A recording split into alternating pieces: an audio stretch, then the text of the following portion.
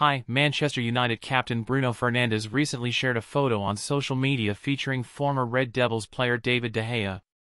De Gea, who spent 12 seasons at Old Trafford, left the club four months ago and is currently unemployed. Negotiations for a contract extension failed, as the club proposed a pay cut from his £375,000 weekly wage. Manager Erik Ten Hag opted for a goalkeeper with better foot skills and signed Onana, leaving De Gea without a contract.